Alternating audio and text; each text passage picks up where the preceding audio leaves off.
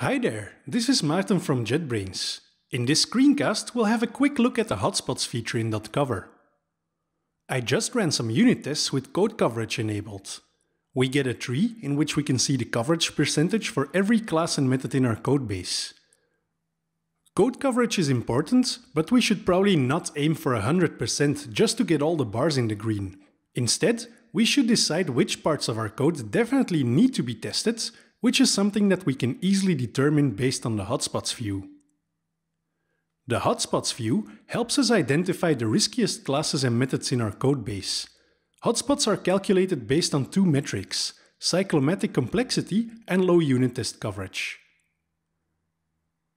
In the project I have on screen here, we can see that the info module class is the riskiest for now.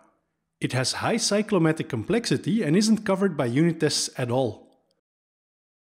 Simple JSON here is another one, with high cyclomatic complexity and low coverage. Cyclomatic complexity is a metric that tracks the number of independent paths through codes. A higher number means that there are more branches in there, such as if constructs or loops. The higher the number, the more tests we would need as each test would need to cover one path. So no tests for this one is quite risky.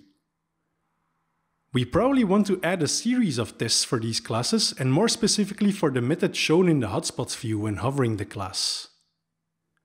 We can navigate to the code by simply clicking the class name in the hotspots view. Code coverage percentage is one thing, but combining it with code complexity is a better metric to see where tests are missing. The hotspots view helps us detect which classes in our codebase are not tested well enough. Give it a try.